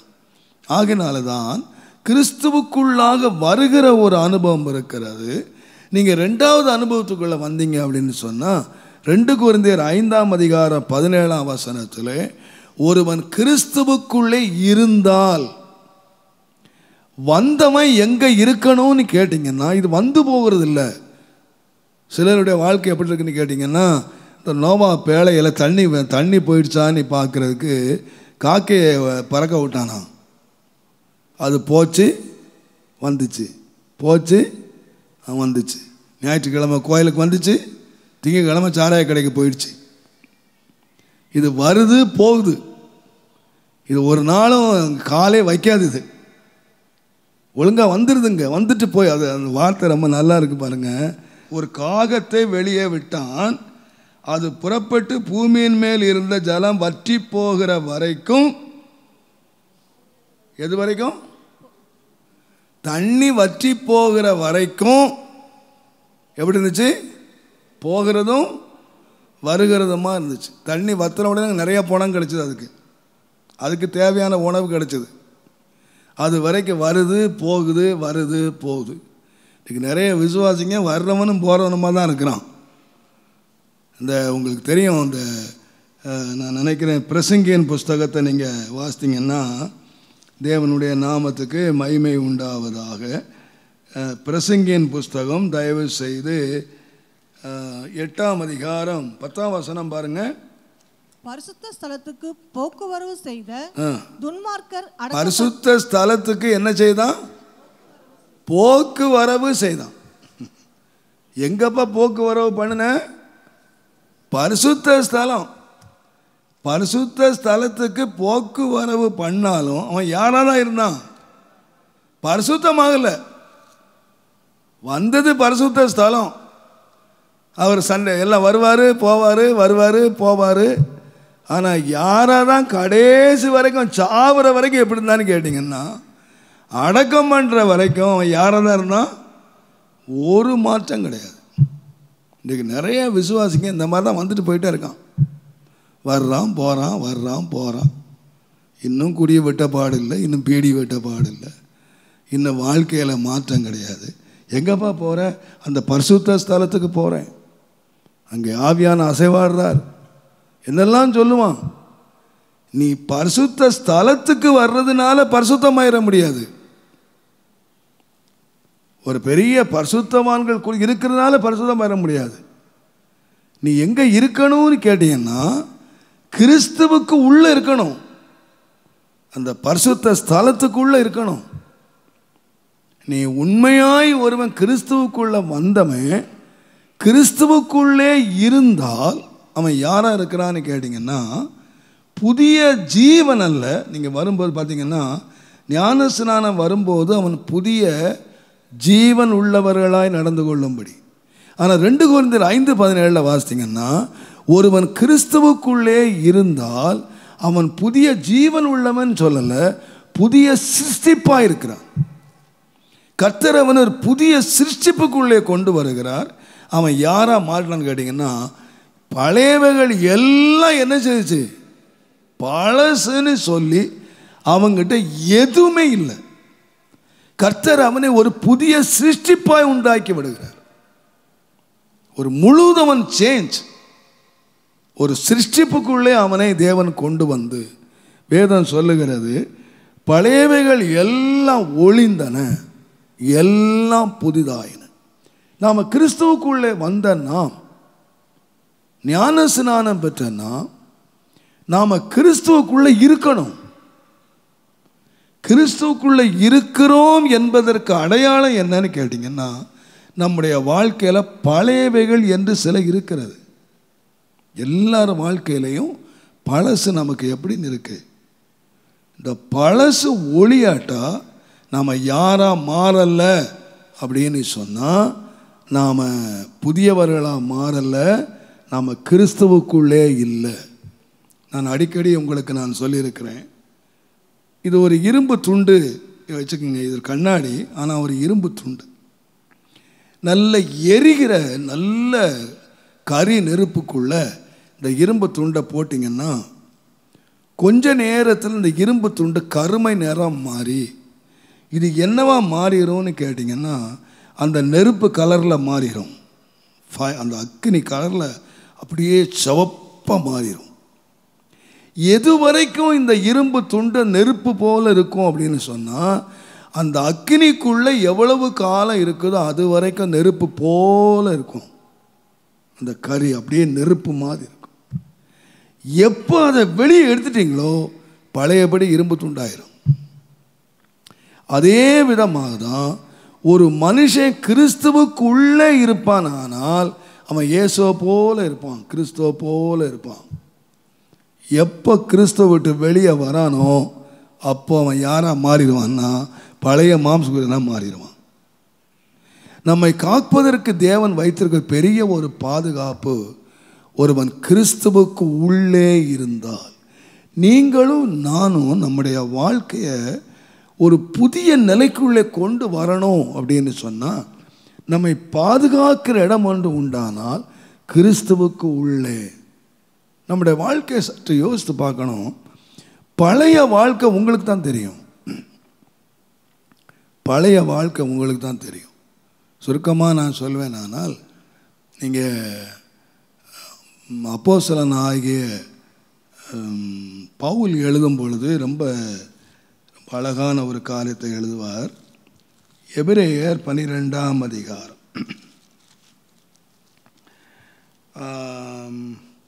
தயவு செய்து முதலாம் வசனம் வாசிங்க. ஆகையால் மேகம் போன்ற இத்தனை திரளான சாட்சிகள் நம்மை சூழ்ந்து கொண்டிருக்க பாரமான யாவற்றையும் நம்மை சுற்றி நெருங்கி நிற்கிற பாவத்தையும் தள்ளிவிட்டு விசுவா நல்லா கவனிங்க. மேகம் போன்ற இத்தனை திரளான சாட்சிகள் நம்மை சூழ்ந்து கொண்டிருக்க பாரமான யாவற்றையும் நம்மை பாரப்படுத்துகிற காரியங்கள் நம்மை சுற்றி நெருங்கி நிற்கிற பாவத்தையும் பாவம் எங்க? ஆ, நீங்க விட்ட பாவம் எங்க தான் நிக்குது? உங்களை சுற்றி தான் நிக்குது. உங்களை சுற்றி நெருங்கி நிற்கிற பாவம். நாம் வந்து நீங்கள் நீங்கள் யாரை வேணால் எடுத்துங்க. நாம் வந்து எல்லா பாவமும் செய்திருக்க மாட்டோம். ஆனால் ஒரு பாவத்தில் எக்ஸ்ட்ரீமாக இருந்திருப்போம். ஒன்று அவன் வந்து பெரிய சினிமாக்காரனாக இருப்பான். இல்லைன்னா கோல் சொல்கிற ஆளாக இருப்பான். இல்லைன்னா நல்ல ஸ்மோக்கராக இருந்திருப்பான். இல்லைன்னா பயங்கர சண்டைக்காரனாக இருந்திருப்பான். ஏதோ ஒன்றில் எக்ஸ்ட்ரீமாக இருந்திருப்பான். அவன் அது எங்கே தான் நிற்கின்னு கேட்டிங்கன்னா அவன் வந்து பக்கத்திலே சுற்றிக்கிட்டே நிற்கிது பட் இவன் வந்து புதிய சிருஷ்டியாக மாறிடணும் அப்படின்னு சொன்னால் அவன் யாராக மாறணும்னு கேட்டிங்கன்னா கிறிஸ்துவுக்கு உள்ளே இருக்கிற வரைக்கும் அவனுக்கு பாதுகாப்பு இருக்கு. பழசு எல்லாம் சுற்றி நெருங்கி நிற்க சொல்லலை பழையவைகள் எல்லாம் ஒளிந்து போயின. நீங்கள் வந்து நல்ல உதாரணம் என்ன கேட்டிங்கன்னா பேதர் இருக்கார் பாருங்க. பேர் நல்ல மனுஷன். ஆனால் யார் தெரியுமா அவர்? மீன் பிடிக்காரர். மீன் பிடிச்சு விற்கிறவர் இவர் வந்து இயேசுவோடு இருந்தார். இயேசுவோடு இருந்து இப்போ இயேசுவை பிடிச்சிட்டு போயிட்டான். சொன்னார் நான் காவலிலும் சாவையிலும் உண்மை நான் நினைச்ச மாட்டேன். நான் மறுதளிக்கவே மாட்டேன் அப்படின்னு சொன்னவர். இப்போ இயேசுநாதர் பிடிச்சிட்டு போகிறாங்க இவர் பின்னால் ஒரு தைரியத்தில் போயிட்டு தைரியம் அந்த அந்த இவருக்கு உள்ள ஜா அந்த இதுக்கு பா- அந்த தைரியம் போயிட்டார். போனால் ஒரு பொண்ணு சொல்கிறான் நீ அவனோடு இருந்தல்ல? அப்படின்னா அவனை அறியேன் நான் இல்லை. சரி ஒன்று விட்டாச்சு. செகண்ட் டைப்பா நீ அவனோட இந்த கலிலேய தானே உன் பேச்ச க கலிலேயன் தானே? இல்லை இல்லை நான் இல்லை. தேர்ட் டைம் ஒருத்தன் கேட்குறான் இவன் பேச்சு இவனை வெளிக்காட்டுது. இவன் வந்து கலிலேயன். இப்போ என்ன மாறிடுச்சு? பேச்சுமா இயேசுவோடு இருந்து பேச்சு கல்லைய பேச்சு வந்துடுச்சு. இப்போ பாருங்க அவன் உடனே என்ன பண்ணான்னு கேட்டிங்கன்னா மத்திய இருபத்தி ஆறாம் அதிகாரம் எழுபத்தி நாலாம் வசனத்தில் அப்பொழுது அவனை அறியேன் என்று சொல்லி சபிக்கவும் உடனே என்ன பண்ணிட்டான்? பழைய லாங்குவேஜ் போயிட்டான். அவன் பழைய லாங்குவேஜ் என்ன? ஆ? உங்களுக்கு தெரியாதா? ராயபுரம் மீன் கடைக்கு போங்க. அவங்க ஐம்பது ரூபா சொல்கிற மீனை பத்து ரூபாய்க்கு கேளுங்க. அவங்க ஒரிஜினல் லாங்குவேஜ் கேட்கலாம். சட்டியை கழுவி ஊத்தா போட்டால் சரி. அவங்க அது வரைக்கும் சார் தான் பேசுவாங்க. சார் வாங்கி நீங்கள் இடக்க முடக்க கேட்டீங்க அவங்க ஒரிஜினல் லாங்குவேஜை நீங்கள் கேட்கலாம். அந்த மாதிரி இந்த பேதர் ஒழுங்காக தான் பேசிக்கிட்டு இருந்தார். எனக்கு தெரியாது. எனக்கு தெரியாது. நீ தான் அந்த பாஷை கேட்கணுன்னே பழைய பாஷைக்கு வந்துட்டார். இன்றைக்கி நம்ம நிறைய பேர் அடிக்கடி பழைய பாஷைக்கு போயிடுறோம். பழைய லாங்குவேஜுக்கு நாம் வந்து பழைய வாழ்க்கைக்கு ஞானஸ்நானம் பெற்றோம்லாம் சொல்கிறோம் ஆனால் நமக்கு சமயம் வரும்போது இந்த மாதிரி சபிக்கிறதுக்கு சத்தியம் பண்ணுறதுக்கு ஐயோ வாயை திறந்தா மீன் விற்கிற அம்மா கெட்டா. என்ன ஆகலைன்னு சொன்னீங்கன்னா பழசு என்ன செய்யலை? அப்பப்போ தலை எடுக்குது தலை எடுக்குது. இது எங்கே நிற்கிதுன்னு கேட்டிங்கன்னா நம்ம சுற்றி தான் நிற்கிது ரொம்ப கவனமாக இருக்கணும். ஒரு பரிசுத்தமான அதனால சொல்ல எவனை விழுங்கலாமோ என்று அவன் வந்து வகை தேடி சுற்றி தெரிந்து கொண்டே இருக்கிறான். சாத்தான் விட்டுறதில்ல. நீ ரட்சிக்கப்பட்ட அப்போ பரவாயில்ல. போயிட்டு நல்லா இரு. சரி என்கிட்ட தான் குடிகாரனா கிடந்த நாசமாக போனேன் சரி இனிமேலாவது போய் நல்ல பிள்ளையாக இரு அப்படின்னு நான் ஆசீர்வச்சு அனுப்ப மாட்டான். உன்னை மறுபடியும் எப்படி ஒரு குடிகாரனா ஒரு புட்டி குடித்தவனை ஏழு புட்டி குடிக்கிற வரைக்கும் விட மாட்டான். நீ ஒரு புட்டியை குடிச்சிட்டு போயிட்டியா? ஆ நீ ஏழு. ஒரு பேய் போய் ஏழு போய் வந்துச்சு பாருங்க அந்த மாதிரி அவன் கடைசி வரைக்கும் சுற்றி திரிகிறான். வேர் இஸ் அ சேஃப் அவனுக்கு எங்கே பாதுகாப்பு இருக்குன்னு கேட்டிங்கன்னா எங்கேயுமே கிடையாது. ஒரு தேவனுடைய பிள்ளை தன்னை பாதுகாத்து கொள்ளவே முடியாது. அவன் இருக்க வேண்டிய இடம் எங்கன்னு கேட்டிங்கன்னா கிறிஸ்துவுக்கு உள்ளே இருந்தால் அவன் புதிய சிருஷ்டியாக ஆண்டவர் மாற்றிடுறார் அவன் பழைய சிருஷ்டி இல்லை. பழைய சிருஷ்டி வந்து தகப்பனும் தாயும் மாம்சத்திலும் இரத்தத்திலும் உண்டாக்கப்பட்ட ஒரு சிருஷ்டி. நம்ம எப்படி சிருஷ்டிக்கப்பட்டோம் அப்படின்னு சொன்னால் மாம்சத்திலும் சிருஷ்டிக்கப்பட்டோம். ஆனால் நம்ம சுபாவங்கள் எல்லாம் எப்படி இருக்குன்னு கேட்டிங்கன்னா மாம்சத்துக்குரியவைகள். பழைய சுபாவங்கள் மாம்சத்துக்குரியவைகள். ஆனால் இப்போது நாம் ஒரு புதிய சிருஷ்டியாக மாறணும்னு சொன்னால் எங்கே இருந்து மாறுகிறோம் என்று சொன்னால் கிறிஸ்துவுக்குள்ளாக ஒருவன் இருக்கும்போது வரும்போதல்ல இருக்கும்போது நாம் போயிட்டு போயிட்டு வர்றவங்கள இருக்கக்கூடாது நம்முடைய வாழ்க்கை எப்போதுமே கிறிஸ்துவுக்கு உள்ளே. அதனால தான் சொல்லப்படுது பழைய மனுஷனை என்ன செய்யுங்கன்னா களைந்து போட்டுருங்க. நீங்கள் தேவனுடைய நாமத்துக்கு மகிமை உண்டாவதாக. அப்போ சிலனாகிய பவுல் கொலோசேயருக்கு எழுதும்போது மூன்றாம் அதிகாரம் எட்டாம் வசனத்தை நீங்கள் பார்த்தீங்கன்னா இப்பொழுதோ கோபமும் கோபமும் மூர்க்கமும் பொறாமையும் உங்கள் வாயில் பிறக்கலாகாத தூஷணமும் வம்பு வார்த்தைகளும் ஆகிய இவைகளையெல்லாம் விட்டு விடுங்கள் ஒருவருக்கொருவர் பொய் சொல்லாதிருங்கள். பழைய மனுஷனையும் அவன் செய்கைகளையும் களைந்து போட்டு தன்னை சிருஷ்டவுடைய சாயலுக்கு தன்னை சிருஷ்டித்தவருடைய சாயலுக்கு ஒப்பாக பூரண அறிவுடைய பூரண அறிவடையும்படி புதிதாக்கப்பட்ட புதிதாக்கப்பட்ட புதிய மனுஷனை தரித்து கொண்டு இருக்கிறீர்களே. இருக்கிறீர்களே. பவுல் எழுதுறாரு நீங்க எதை தரிச்சிருக்கிறீங்க?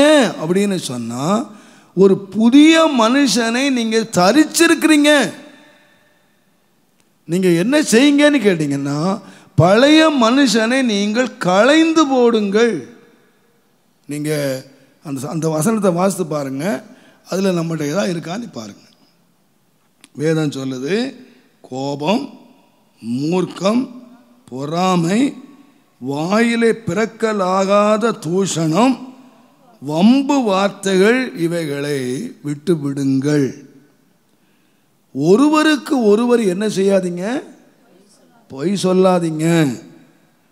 பழைய மனுஷனை அவன் செய்களையும் களைந்து போடுங்கள். இப்போ இதெல்லாம் நம்மகிட்ட இருக்கதானே கொஞ்சம் பாருங்கள் இதெல்லாம் யாருன்னு கேட்டிங்கன்னா பழைய மனுஷன். பழைய மனுஷன். இந்த பழைய மனுஷனுடைய சுபாவங்கள்.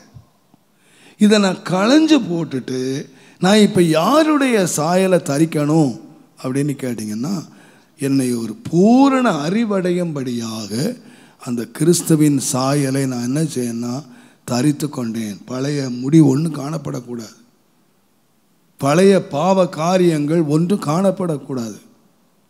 என்னை குஷ்டரோகின்னு காட்டின அந்த முடி ஒன்றுமே காணப்படக்கூடாது. நான் இப்போ முழுவதும் என்னை மொட்டையாக சிறைத்து இப்போ ஒரு புதிய ஒரு நிலைக்குள்ள நான் இப்போ ஒரு புதிய சிருஷ்டியாக கிறிஸ்துவுக்குள்ளே நான் ஒரு புதிய சிருஷ்டியாக நான் வந்தேன். இந்த புதிய சிருஷ்டிக்குள்ளே வரணுங்க தான் பாருங்கள் நான் முதல்ல கிறிஸ்துவுக்குள்ளே வர்றோம் நாம் கிறிஸ்துவுக்குள்ளே இருக்கிறோம். இந்த கிறிஸ்துவுக்குள்ளே இருக்கிறவர்கள் தான் என்ன செய்கிறாங்கன்னு கேட்டிங்கன்னா எடுத்துக்கொள்ளப்படுகிறார் நீங்கள் ஒன்று தெசலோனிக்கேர் நாலாம் அதிகாரத்தை நீங்கள் வாசித்தீர்களானால் ஒன்று நாலாம் அதிகாரம் பதினாறாம் வசனத்தை நீங்கள் பாருங்க. ஆ. கர்த்தர் தாமே ஆரவாரத்தோடும் பிரதான தூதனுடைய சத்தத்தோடும் தேவ எக்காலத்தோடும் வானத்திலிருந்து இறங்கி வருவார். அப்பொழுது கிறிஸ்துவுக்குள் அப்பொழுது கிறிஸ்துவுக்குள் மரித்தவர்கள். முதலாவது எழுந்திருப்பார் நல்ல வார்த்தையை கவனிச்சுங்க. முதலாவது கிறிஸ்துவுக்குள்ளே வந்தவர்கள். அவங்க கிறிஸ்துவுக்குள்ளே வாழுகிறவர்கள். நம்ம சாகும்போது எங்கே சாகணும்னு கேட்டிங்கன்னா கிறிஸ்துவுக்கு உள்ள சாகணும் ஒருவர் இறந்து போனார்னா முதலாவது கேட்பான் எங்கே செத்து போனார்? பாடி எங்கே இருக்குன்னு கேட்பான் பாடி ஆஸ்பத்திரிலையா? பாடி வீட்லையா? எங்கே செத்து போனார்? அவர் எந்த இடத்துல இருந்தார் அங்கே தான் செத்து போனார். ஆஸ்பத்திரியில் இருக்கிறவர் ஆஸ்பத்திரியில் போயிட்டார். வீட்டில் இருக்கிறவர் செத்த இடம் எங்கே? அவர் எங்கே இருந்தாரோ அங்கே தான் செத்தார் இல்லையா? உங்களுக்கு விளங்குதா உங்களுக்கு? இப்போ ஒருத்தன் கிறிஸ்துவுக்குள்ளே மறித்தான்னு சொன்னால் அவன் மறிக்கும் போது எங்கே இருந்தான்? ஆ? கிறிஸ்துவுக்குள்ளே இருந்தான். அவன் கிறிஸ்துவுக்குள்ளே இருந்தான் என்பதற்கு அடையாளம் என்ன? பழையவைகளெல்லாம் ஒளிந்து போயின எல்லாம் புதிதாயின. அப்போ அவன் புதிதானவனாக பழையவைகளை ஒழித்து புதியவனாக அவன் வாழ்ந்த பொழுது மறித்தான் கிறிஸ்துவுக்குள்ளே மறித்தான் பின்பு உயிரோடு இருக்கிற நாமம் உயிரோடு இருக்கிற நாமம் என்று சொல்லுகிறது. ஒன்று தசலைக்கு ஒன்று தசலைக்கு முதலாம் அதிகாரம் முதலாம் வசனத்தை வாசித்தீங்கன்னா கிறிஸ்துவுக்குள்ளே இருக்கிற உங்களுக்கு எழுதுறேன்னு சொல்கிறார் இப்போ உயிரோடவும் கிறிஸ்துவுக்குள்ளே இருக்கிறாங்க. ஒரு கூட்டம் கிறிஸ்துவுக்குள்ளே மறிக்கிறாங்க. நாம் கிறிஸ்தவனாக மறிக்கிறோமாங்கிறது கேள்வி அல்ல. கிறிஸ்துவ பேரோடு மறிக்கிறோமாங்கிறது இல்லை. நான் பாஸ்டராக மறிக்கிறோமா போப்பாக மறிக்கிறோமா வேற யாராக மறிக்கிறோமாங்கிறது இல்லை. நாம் மறிக்கிற இடம் எங்கே? நாம் மறிக்கிற இடம் கிறிஸ்துவுக்குள்ள. நாம் கிறிஸ்துவுக்குள்ள மறித்தோம் என்பதற்கு அடையாளம் என்னன்னு கேட்டிங்கன்னா ஒருவன் கிறிஸ்துவுக்குள்ளே இருந்தால் அவன் வந்து பழையவைகள் எல்லாம் ஒளிந்து போயின. நமக்கு தெரியணும் என் பழைய மனுஷன் யாருன்னு எனக்கு தெரியும். என் பழைய சுபாவம் எனக்கு என்னன்னு தெரியும். பழைய பேச்சு என்னன்னு எனக்கு தெரியும். பழைய என்னுடைய சுபாவங்கள் எனக்கு தெரியும். நம்மையே உட்காந்து நம்ம யோசித்து பார்க்கணும். என் பழைய சுபாவங்கள் ஒழிஞ்சுதான் இல்லையா? நான் கிறிஸ்துவுக்குள்ள இருக்கிறேன் என்று நான் சொல்ல வேண்டுமானால் அடையாளம் என்ன? ஜனங்கள் என்ன பார்த்தாங்க? என்னை எல்லாரும் பார்க்குறாங்க. எங்கேயாயிலும் அந்த குஷ்டரோகத்தினுடைய முடி தெரிதா? ஆசாரி என்னை சோதித்து பார்க்குறான். இந்த குஷ்டரோகத்தின் முடி தெரியுதா? இதை முழுவதும் மழுங்க சிறைக்கணும். அவனுடைய தலை அவனுடைய தாடி அவனுடைய புருவம் அவனுடைய முகம் பார்வை எல்லாமே பார்க்கக்கூடிய இடங்களுக்கு எல்லாமே அவன் குஷ்டரோகி இல்லை என்று சொல்லக்கூடிய நிலைமையில் அவன் குஷ்டரோகத்துக்குரிய அடையாளம் எதுவுமே இருக்கக்கூடாது. அவனுடைய பாவத்துக்குரிய அடையாளம் ஒன்றுமே இல்லாதபடி முழுவதும் சிறைக்கப்பட்டு அவன் ஸ்நானம் பண்ணப்பட வேண்டும். நீங்கள் பின்னால் சம்பவத்தை நீங்கள் வாசித்தீங்கன்னா முதலாவது அவன் வெறும் ஸ்நானம் மட்டும்தான் பெற்றான். ஆனால் ரெண்டாவது சுத்திகரிக்கப்பட வேளையில் மிக முக்கியமாக அவனில் பங்கெடுத்தது ஒன்று ரத்தம் இன்னொன்று ஆயில். ஆயில் எண்ணெய் அவனுடைய அபிஷேகத்தையும் ரத்தம் இயேசுவின் என்ற சுத்திகரிக்கப்பட்டதையும் அவன் ஆவிக்குள்ளாக தன்னை வாழ பண்ணி அவனுடைய பழைய சுபாவங்கள் முழுவதையும் அவன் அழித்து ஒரு புதிய நிலையிலே அவனுடைய எந்த பாவத்தினுடைய அடிச்சுவடுகள் அவனுடைய இல்லாதபடி தன்னை முற்றிலும் பரிசுத்தமாக்கி கொள்ளுகிற அப்பொழுது அவன் சுத்தமாவான். அப்பொழுது அவன் யாராக இருக்க முடியும்னு கேட்டிங்கன்னா அதிகாரியாக இருக்க முடியும். தலைவனாக இருக்க முடியும். நம்மகிட்ட குஷ்டரோகத்தினுடைய அந்த முடி இருக்குமானால் குஷ்டரோகத்தினுடைய அடையாளங்கள் நமக்கு இருக்குமானால் நாம் அதிகாரியாக வீட்டுக்குள்ளே பிரவேசிக்க முடியாது. நம்ம வீட்டுக்குள்ளே வர முடியாது. சும்மா அப்படியே பாளையத்தில் வந்துக்கிட்டு இருக்கலாம் வேணுமானா? அதிகாரியாக அதிகாரம் செலுத்த முடியாது. கத்தருடைய நாமத்துக்கு மகிமையும் கனமும் துதியும் உண்டாவதாக. ஆகையினால் கிறிஸ்தவ வாழ்க்கை என்று சொல்லுகிறது. முற்றிலும் ஒரு பரிசுத்தமான ஒரு வாழ்க்கை என்பதை நாம் மறந்துவிடவே கூடாது. ஆண்டவரே இந்த பாவத்தினுடைய அடிச்சுவடுகள் என்னுடைய வார்த்தை என்னுடைய அந்தரங்க வாழ்க்கை என்னுடைய வெளியரங்க வாழ்க்கை முழுவதையும் ஒரு உமக்கு முன்பாக ஒரு பரிசுத்தமான வாழ்க்கை அவன் சுத்தமாவான் அவன் முற்றிலும் சுத்தமாவான் என்று சொல்லப்படுகிற வார்த்தையின்படி என்னை முற்றிலும் என்னை சுத்தமாக்குவீராக. இதை யோசித்த வேளையில் இந்த மூன்று ஸ்டேஜ் என்று சொல்லுகிறது நம்முடைய ஆவிக்குரிய வாழ்க்கையிலையும் நாம் இதை அறிந்து கொள்ள வேண்டும். நீங்கள் வேதத்தை நீங்கள் எடுத்தான்னா அதிகமாக நீங்கள் ஆவிக்குரிய வாழ்க்கையில் எல்லாம் அந்த மூன்று மூன்று காரியங்களை நீங்கள் வாசிக்கலாம். ஆண்டவர் படைத்த படைப்பில் நீங்கள் பார்த்தீங்கன்னா ஒன்று யோவான் ஐந்தாம் அதிகாரம் ஏழாம் வசனத்தில் பரலோகத்திலே சாட்சியிடுகிறவர்கள் மூவர். பிதா வார்த்தை பரிசுத்த ஆவி.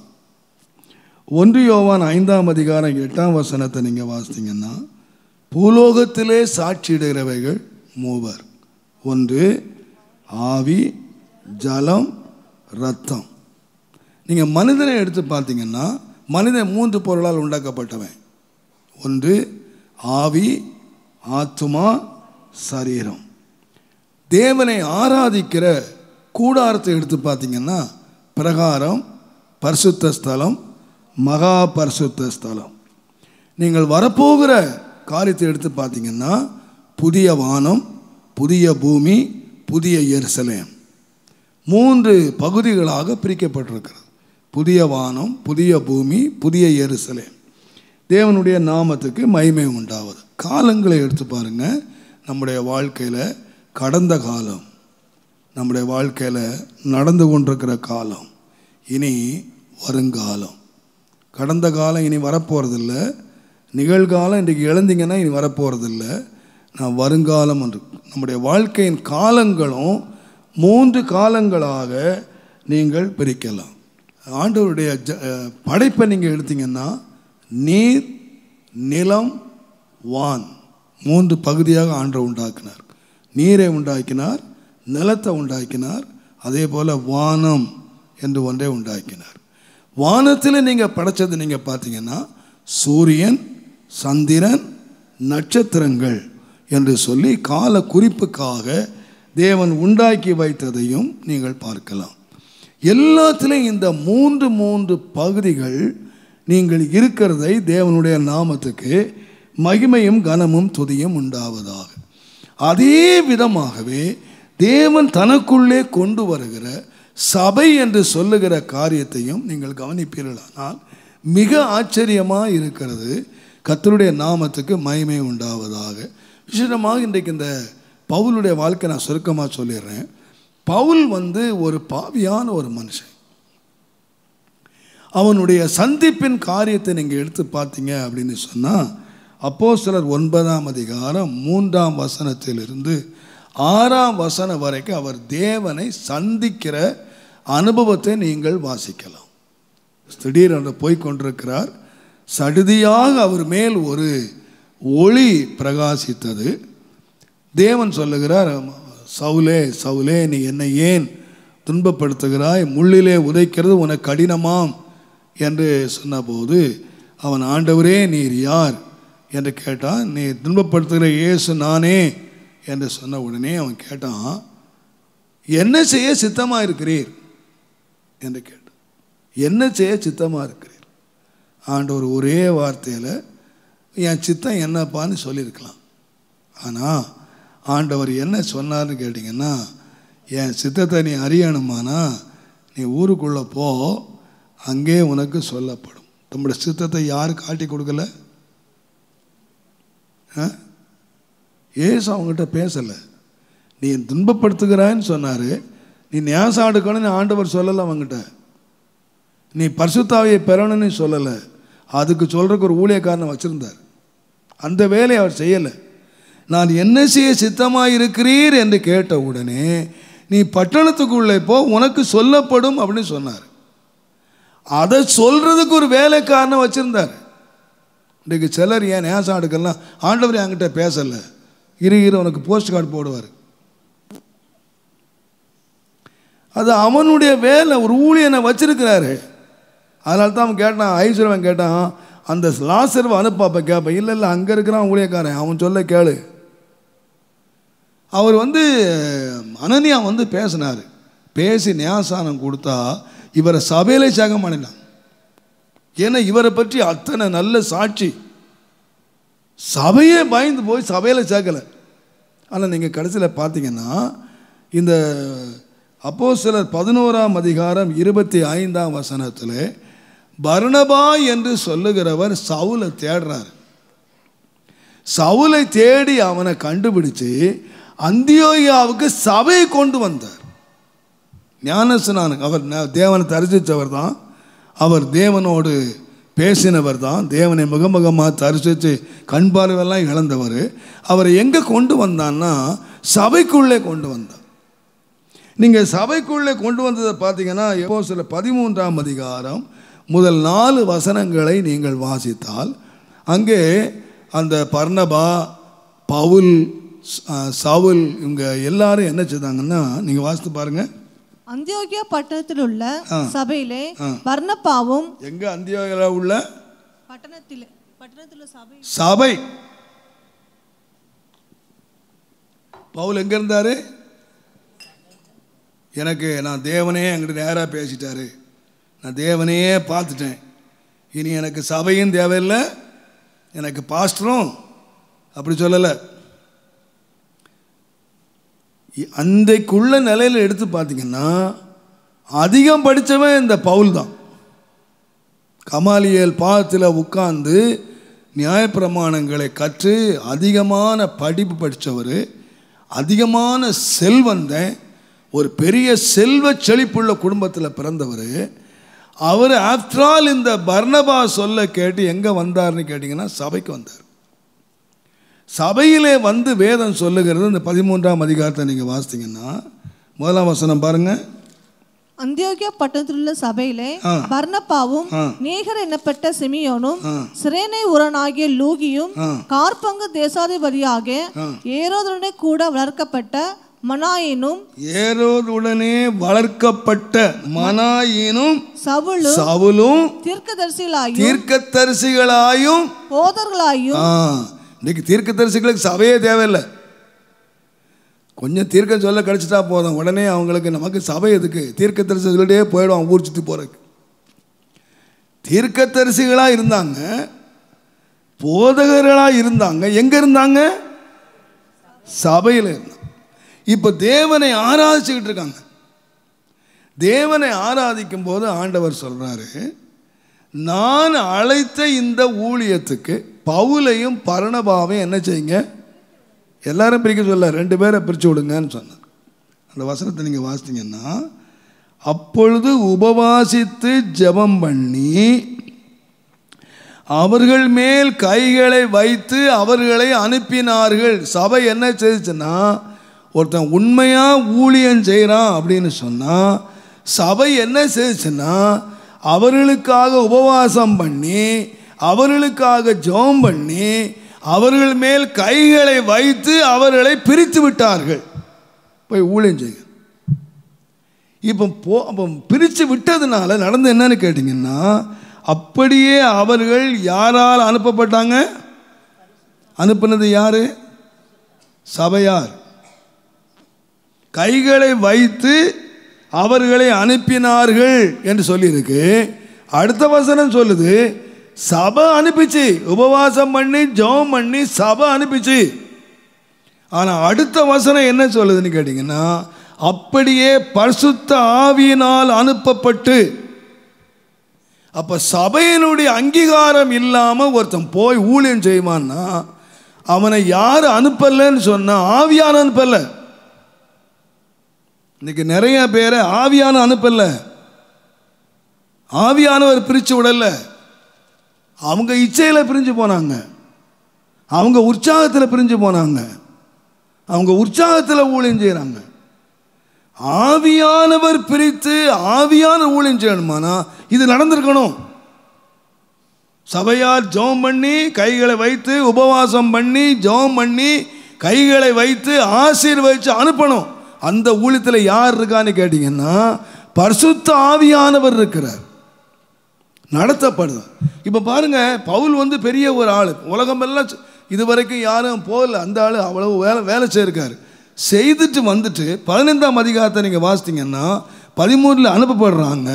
பதினஞ்சாம் அதிகாரத்தை நீங்கள் வாசித்தீங்கன்னு சொன்னால் எல்லா இடமும் ஊழியம் செய்துட்டு வந்து ரிப்போர்ட் கொடுக்குறாங்க. சபையில் வந்து தேவன் எங்கள் மூலமாய் பிரஜாதிகள் மத்தியிலே செய்த ஊழியத்தை குறித்து யூ கிவ் ரிப்போர்ட் சபைக்கு ரிப்போர்ட் கொடுத்தாங்க. அப்போ அவங்க சபையோடு எப்படி இருந்தாங்கன்னு கேட்டிங்கன்னா ஃபெல்லோஷிப் ஐக்கியமாக இருந்தாங்க. நாங்கள் தீர்க்கதரிசி ஆயிட்டோம். நாங்கள் எங்களை தேவன் அனுப்பிச்சிட்டாரு. தேவன் எங்களோடு கூட இருக்கிறாரு. தேவன் எங்களோடு பெரிய மருத்துவர்லாம் எழுப்புறாரு. எங்களுக்கு சர்ச்சு தேவையில்லை அப்படின்னு போகலை. அவங்க ஊழியம் பண்ணினாங்க. திரும்ப வந்து ரிப்போர்ட் கொடுத்தாங்க. இப்போ தன்னோடு இருந்த இந்த பவுலுக்கும் பரணபாவுக்கும் வாக்குவாதம் வந்துடுச்சு. வாக்குவாதம் பெரிய வாக்குவாதமாய் மாறி ரெண்டு பேரும் பிரிகிற ஒரு சூழ்நிலை வந்துடுச்சு. இப்போ நீங்கள் பார்த்தீங்கன்னா அந்த பதினைந்தாம் அதிகாரத்தை நீங்கள் கடைசி பகுதியை நீங்கள் வாசித்தீர்களானால் முப்பத்தி ஒன்பதாம் வசனத்தில் இதை பற்றி அவர்கள் கடும் கோபம் மூண்டபடியினால் அவர்கள் ஒருவரை விட்டு ஒருவர் என்ன செய்தாங்க? பவுலு நல்லவன் பர்ணபாவும் நல்லவன். நல்ல சாட்சி உள்ளவன் பர்ணபா. ஆனால் பர்ணபா மார்க்குவை கூட்டிக் கொண்டு கப்பல் ஏறி சீப்ரு தீவுக்கு போனான். பவுலோ சீலாவை தெரிந்து கொண்டு சகோதரராலே தேவனுடைய கிருபைக்கு ஒப்புவிக்கப்பட்டு புறப்பட்டு போய் சபைகளை திடப்படுத்தினான். அதுக்கப்புறம் பர்ணபாக்கு நோ ஹிஸ்டரி சரித்திரமே இல்லை. எங்கே போனார்னே தெரியாது. ஆனால் பவுலுடைய ஊழியம் தொடர்ந்த காரியம் என்னன்னு கேட்டிங்கன்னா ரெண்டு பேரும் கோவப்பட்டாங்க. ரெண்டு பேருக்குள்ள ஆத்திரம் வந்துடுச்சு. கோபம் வந்துடுச்சு. ரெண்டு பேரும் பிரிஞ்சிட்டாங்க. ஆனால் அந்த பிரிவினையிலேயும் இந்த பவுல் என்ன செய்தார்னா சகோதரராலே அங்கீகரிக்கப்பட்டார். சபையால் அங்கீகரிக்கப்பட்டார். சபை அவரை அங்கீகரித்தது. அவர்களை அனுப்பின சபை திரும்ப அனுப்பினது. ஆகினால் என்ன பண்ணார்னு கேட்டிங்கன்னா சபையை அவர் திடப்படுத்த முடிஞ்சது. சபையை வளர்க்க முடிஞ்சது. அவருடைய ஊழியம் தொடர முடிந்தது. தேவனுடைய நாமத்துக்கு மகிமை உண்டாவதாக. அப்போ சபைக்கு வெளியில் இயேசுவை சந்திக்கிறார். சபைக்கு உள்ளே வருகிறார். சபையிலே உட்கார்ந்து தேவனை ஆராதித்து உபவாசம் பண்ணி ஜெபம் பண்ணுகிறார். கத்தர் சபையிலிருந்து அவர்களை பிரித்து எடுக்கிறார் என்றாலும் அவங்க எங்கே இருக்காங்கன்னு கேட்டிங்கன்னா சபையோடு உள்ள ஐக்கியம் கடைசி வரைக்கும் அந்த ஐக்கியத்தை அவர்கள் பரிபாலித்து கொள்ளுகிறதை நாம் வாசிக்கிறோம். தேவனுடைய நாமத்துக்கு மகிமையும் கனமும் துதியும் உண்டாவதாக. பரிசுத்த ஆவியானவர் இந்த நல்ல நாளிலே கர்த்தர் நம்மோடு தொடர்ந்து கர்த்தர் நம்மை பேசுவாராக கர்த்தர் நம்மோடு இருப்பாராக. நான் இந்த ஒரே ஒரு இந்த முடியை பற்றி மாத்திரம் நான் ஒரே ஒரு காரியம் சொல்லி முடிச்சிடுறேன். இந்த முடியை பற்றி நான் வாசிக்கும்போது அந்த நம்முடைய அந்த பழைய முடியெல்லாம் நாம் சிரைச்சிட்டா நமக்கு என்ன முடி வரும்னா நமக்கு நிச்சயமாய் ஒரு புதிய முடி. இந்த சிம்சோனை குறித்து நீங்கள் வாசித்தீங்கன்னா பழைய முடி சிரைக்கப்பட்டது புதிய பலனோடு என்ன வந்துச்சுன்னா ஒரு முடி வந்தது. இந்த முடி நமக்கு என்னத்தை காட்டுதுன்னு கேட்டிங்கன்னா எனக்கு ஒரே ஒரு காட்சி சொல்லி நான் முடிச்சிடுறேன். ஒன்று குருந்தியர் பதினோராம் அதிகாரம் பதினாலையும் பதினைந்தையும் நீங்கள் வாசித்தீங்கன்னா புருஷன் மயிரை நீளமாய் வளர்க்கிறது அவனுக்கு கனவீனமாய் இருக்கிறது என்றும். புருஷன் மயிரை நீளமாய் வளர்க்கிறது அவனுக்கு என்ன இருக்கு? கனவீனமாய் இருக்கிறது ஸ்திரீ தன் மயிரை நீளமாய் வளர்க்கிறது அவளுக்கு மகிமையாய் இருக்கிறது என்றும். ரெண்டும் ரெண்டையும் நீங்கள் வாசித்து பாருங்க. புருஷன் நீளமாக வளர்த்தா அவனுக்கு அதனால் என்ன செய்யணும்? கத்திரிக்கணும். புருஷன் கத்திரிக்கணும். மனைவி என்ன செய்யணும்னா அவளுக்கு மகிமையாக இருக்கணும்னா என்ன இருக்கணும்? வளர்க்கணும். ஆனால் இன்றைக்கி ரெண்டு நேரம் ஆப்போசிட்டாக இருக்குது சரி அதை நான் பேச இன்றைக்கி அம்மா அம்மாருக்கு ரொம்ப கஷ்டமாக இருக்குது அதில் எல்லாம் பாப்பில் இறங்கிட்டாங்க இப்போ எல்லோரும். தேவனுடைய நாமத்துக்கு மகிமை உண்டாவதாக. ஆனால் உண்மையாக உங்களுக்கு மகிமை என்னன்னு கேட்டிங்கன்னா உங்களுக்கு ஆண்டவர் முடியை கொடுத்தது மகிமையாக கொடுத்தார். முடி எது கொடுத்தாருன்னா கனமும் மகிமையும். புருஷன் வெட்ட வேண்டிய முறையாக வெட்டி அதை ஒழுங்குபடுத்துவானானால் அவனுக்கு கனம். பெண்கள் வளர்ப்பார்களானால் அது அவங்களுக்கு மகிமை. அப்போது ஆண்டவர் வந்து அந்த பழைய முடியெல்லாம் எடுத்துட்டு அந்த பாவத்தை காட்டின முடியெல்லாம் எடுத்துட்டு இப்போ அந்த என்ன முடி வளரணும்னு கேட்டிங்கன்னா ஒரு மகிமையை நமக்கு காண்பிக்கிற ஒரு கனத்துக்குரிய ஒரு முடி நமக்கு வளரணும். முன்னால் உள்ள முடி என்ன கட்டி நீ குஷ்டரோகின்னு சொல்லுச்சு. முன்னால் உள்ள வாழ்க்கை நீ குஷ்டரோகின்னு சொல்லுச்சு. ஆனால் இப்போ உள்ள வாழ்க்கை உனக்கு என்ன காட்டணும்னு சொன்னீங்கன்னா உனக்கு மகிமையாகவும் இருக்கணும் உனக்கு அது கனமாகவும் இருக்கணும். அதனால் சகோதரர்களும் கவனிச்சு கொள்ளுங்க சகோதரிகளும் கவனிச்சு கொள்ளுங்க வேத வசனத்தை கீழ்ப்படிங்க. உங்களுக்கு வந்து அது கஷ்டமாக இருக்குன்னு கட் பண்ணாதீங்க. அது எவ்வளோ இன்றைக்கி சிலருக்கு வளர்றதே கம்மியாக தான் வளருது. ஆனால் ஒன்று மட்டும் வேத வசனத்தின்படி முடிய கட் பண்ணவே கூடாது. இன்றைக்கி ரொம்ப வசதியாக பாப்பு கீப்பெல்லாம் வெட்டுறாங்க. நல்ல பார்பர் ஷாப்பில் கொண்டு போய் அது உங்களுக்கு கனவீனம் என்று வேதம் ரொம்ப திட்டமாக நான் சொல்லலை. அதான் சொல்லிட்டு கீழே சொன்னார் உடனே சொல்லிட்டாரு பயந்து போயிட்டு. பயந்துட்டார்னு நினைக்கிறேன். ஒருவன் வாக்குவாதம் செய்ய மனதாக இருந்தால் எப்பா வெட்டலாமா வளர்க்கலாமான்னு வாக்குவாதம் பண்ணதாப்பா. என்கிட்ட வராத.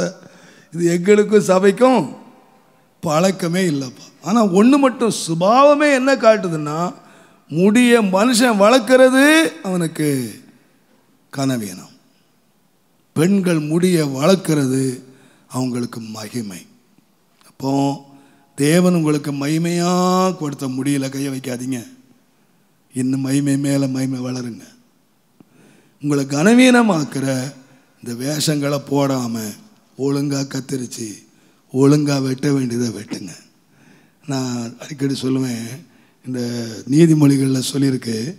நீதிமொழிகள் இருபதாம் அதிகாரம் இருபத்தி ஒன்பதாம் வசனத்தில் நீங்கள் வாசித்தீங்கன்னா வாலிபரின் அலங்காரம் வாலிபனுடைய அலங்காரம் அவர்கள் பராக்கிரமம் பராக்கிரமம் முதிர் வயதானவர்களின் மகிமை முதிர் வயதானவருடைய மகிமை அவர்கள் நரை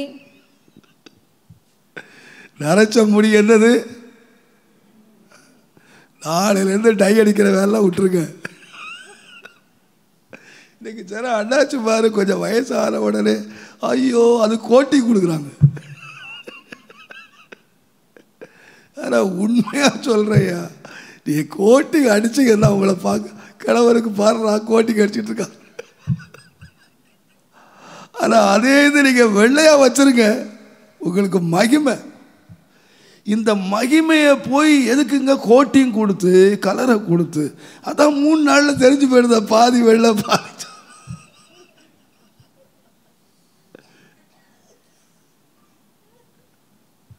கோட்டிங் அடிச்சலெல்லாம் படுற பாடு தெரியுமா சரணத்தில் அது வெள்ளையாவதா விட்டுடுங்க.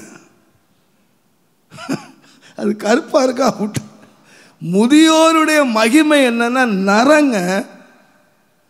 நரம் வந்து நமக்கு மகிமை. இன்றைக்கி நாம் நினைக்கிறோம் பாருங்க ஆண்டவர் நமக்கு மகிமையாக கொடுத்த காரியங்களை கூட புத்தியினமாக நம்ம என்ன பண்ணிடுறோம்னா நம்மளோட மகிமை நம்ம இழந்துடுறோம். நீளமான முடியாண்டு மகிமையாக கொடுத்துருக்காரு நம்ம அதை கட் பண்ணிடுறோம். நம்ம கனமாக கொடுத்து ஆண்டவர் அதை சரி பண்ண வச்சுருக்கிறாரு ஆனால் அதை வளர்த்து நம்ம பேரை கெடுத்துக்கிறோம் அது நரைக்குது. அது ஆண்டவர் பாரு மறைக்குது அதுக்கு உடனே கருப்பு சிவப்பு எல்லாம் கோட்டிங் கொடுத்து மற்றவங்க பரியாசத்துக்குள்ள ஆக்கிடுறோம். அப்போ நான் சொல்லுவேன் இந்த முடியல இவ்வளோ மகிமை இருக்குது நான் சொல்லுவேன் நம்முடைய மகிமையை கெடுக்கிற இந்த முடிகளெல்லாம் கத்திரிச்சு போட்டுருங்க.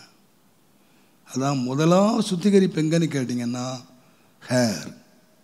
ஒரு குஷ்டரோகியனுடைய முதலாவது சுத்திகரிப்பு ஆரம்பிக்கப்பட்ட இடம் அவன் ஹேர். அவன் ஹேர் தான் காட்டுச்சு. அவன் ஒரு பாவியன்னு இப்போ பரிசுத்தமானு காட்டுறதும் எதுதான்னு கேட்டிங்கன்னா அவனுடைய முடி. அந்த முடியை கழிச்சிட்டு அவனை சுத்திகரித்து அவன் சுத்தமாவான் என்று எழுதியிருக்கிறது போல் நம்முடைய வெளிப்பிரகாரமான உள்பிரகாரமான சுத்திகரிப்பை கத்த நமக்குள்ளே நிறைவேற்றி நாம் அதிகாரம் உள்ளவர்களாய் நம்முடைய இழந்த வீடு இழந்த ஊழியம் இழந்த அதிகாரம் இவைகளை நாம் பெறத்தக்கதாக கத்தர் நம்மை ஒரு பரிசுத்த வாழ்க்கையிலே நம்மை நிலைநிறுத்தி நம்மை அதிகாரப்படுத்துவாராக தேவன் நம்மை உயர்த்துவாராக. நாம் ஜெபம் பண்ணுவோம். எங்கள் அன்பின் ஆண்டவரே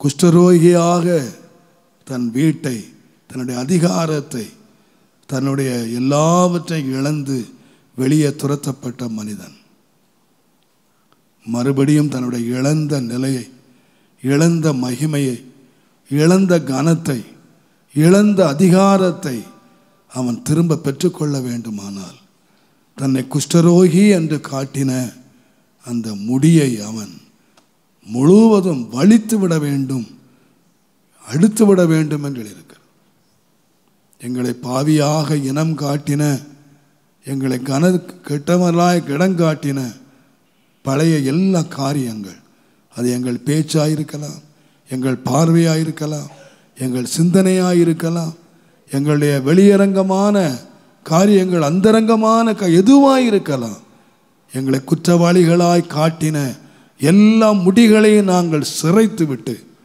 ஆண்டவரே நாங்கள் எங்களை சுத்திகரிக்க வேண்டிய முறையாக சுத்திகரித்து இரத்தத்தினாலும் பரிசுத்த ஆவியினாலும் உண்டான முழுமையான சுத்திகரிப்பை நாங்கள் அடைந்தவர்களாய் அவன் சுத்தமாவான் என்று எழுதியிருக்கிறது போல எங்களை சுத்தவான்களாய் காண்பிக்கத்தக்க எங்களுக்கு உதவி செய்யும் எங்களை நடத்தும் எங்களை ஆசீர்வதியும்.